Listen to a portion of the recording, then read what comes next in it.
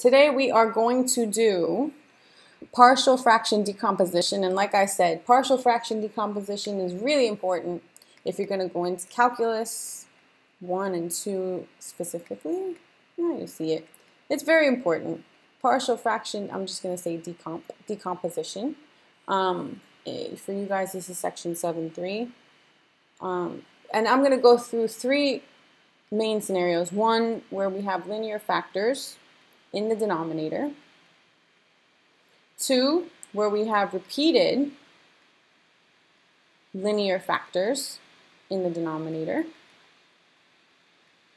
And three, quadratic factors. And if I have time, I'll do repeated quadratic factors or I'll do a mix because you could have a combination of these also. Just depends. Um, so, all right, you have a, so First of all, actually, what is partial fraction decomposition? What are you really doing? Imagine, I'm gonna, I'm gonna go real basic here, okay? Imagine that I have 2x over, we'll just say x plus 3 plus 5 over x plus 5, right? So I'm adding two separate rational functions, correct? Or two fractions. And in order to add them, I need a common denominator, right? Adding rational functions. Oops, this one needs x plus 5 and an x plus 5.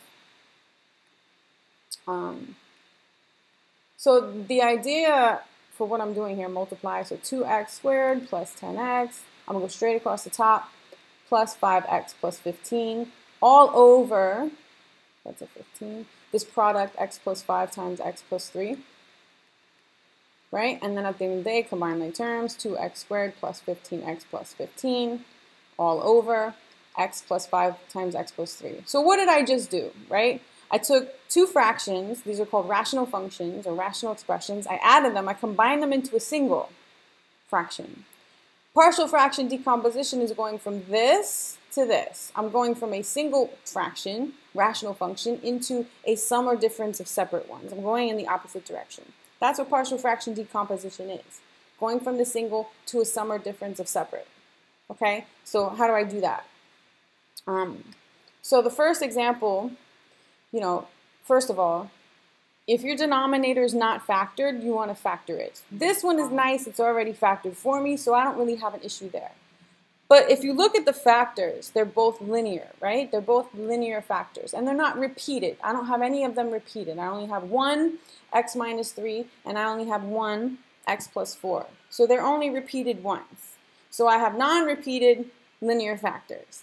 When I have non-repeated linear factors, I'm going to um, say that this is equal to, I want to move this a little bit out of my way. Need some space. I'm going to say that this is going to be equal to the sum of separate fractions. Because that's what I want to do, partial fraction decomposition. One of the denominators is going to x is going to have an x minus 3, one of the linear factors, and the other denominator is going to have an x plus 4, the other linear factor. When you have linear factors in the denominator, and they're different, your numerators are constants. I don't know what constants they are, so an unknown a is there, and another unknown constant b is here. So I'm saying that this is going to be equal to a sum of separate fractions, you know, which have these denominators, which, you know, if I were to go in this direction, it would, you know, match this. But I have to figure out what these um, numerators are. So how do I figure out what the numerators are? I need to basically solve a rational uh, equation. Yeah. Yep. So so someone asked me if the top you know, degree is the one less than the bottom, you'll see that that is true. Because if it's a linear factor, the top is a constant. You'll see what happens when I have quadratic um, factors. So yeah, I, I was going to get to that. The top is kind of one degree less than the bottom, but you know, I'll get to that. But at, at the end of the day, when you have linear factors, right, um, the numerators are going to be constants. And you know, I have a different constant per different linear factor. So now to solve this, I need to solve a rational equation. I'm going to multiply everything times the uh, LCD, the least common denominator or the common denominator.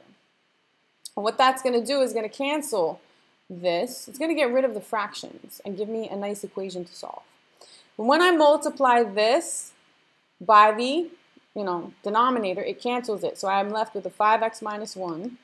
When I multiply this by this, this is technically over 1, guys, right? So, you know, the x minus 3 is going to cancel. So I'm left with a times x plus 4 plus, when I multiply this fraction by this fraction, the x plus 4s are going to cancel, and I'm left with a b times x minus 3. So I'm solving a rational equation basically to, to identify what a and b are so that I can represent this rational function as a sum of two separate ones. I'm going to decompose this, right? I'm going to take this single thing and make it a sum of difference.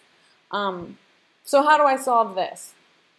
Um, so let's distribute and compare each side. So I have ax plus 4 plus bx minus 3. Now the hard thing about this, or at least what initially seems hard or difficult or whatever, is that you have a bunch of unknowns. But if you look at this, right, on the left I have one linear term, which has a coefficient of 5. On the right, I have two linear terms, coefficients of a and b. So imagine, you know, if these are like terms, I would combine them.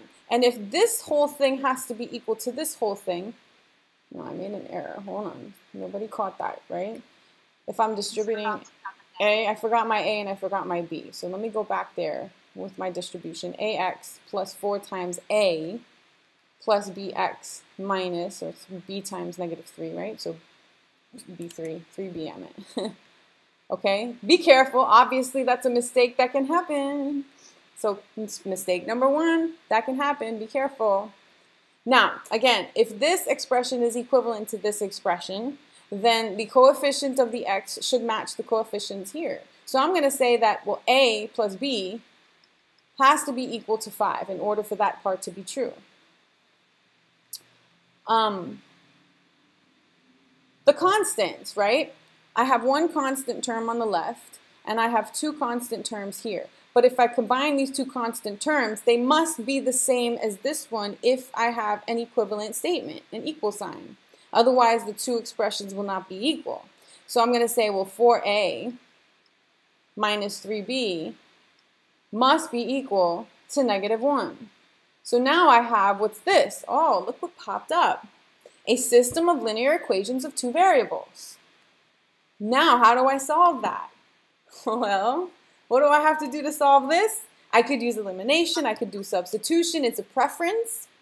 I'm going to do elimination because how else do I solve for A and B um, without elimination or substitution? I have two unknowns, two equations. I'm going to multiply equation 1 by 3. So that means I get 3A plus 3B is 15. I'm going to multiply equation 2 by nothing. and then add the two together. Because at the end of the day, what am I eliminating? My b's. So now I have here 7a is equal to here 14. So now I know that a is 2. Now b is going to be easy to find. a plus b is 5. So 2 plus b is 5, and therefore b is 3. And now I know my partial fraction decomposition. I know that 5x minus 1 over this is equal to 2 over x minus 3 plus 3 over x plus 4. If I were to combine these two fractions with the common denominator and all that, I should end up with this. Okay, again, like I said, what is partial fraction decomposition? I'm going from the single fraction into a sum or difference of se separating it. Um, so you can always check a result by combining them back. Does it equal that single you know, fraction. Now, you know, you can see here, you got a combination of stuff. You have to not only uh, obviously know what to do when you have linear factors and know how to factor, right? That's one method. It's one thing you have to know, how to factor. Another thing that you have to know is how to identify linear factors versus other factors.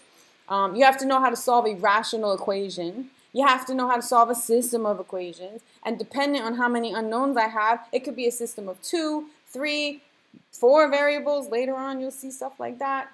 Right now, you did two or three. So there's a combination of old material combined just to do this. But the end result is a sum or difference of separate fractions that if I were to combine into a single one, would go back into that. That's what partial fraction decomposition is all about.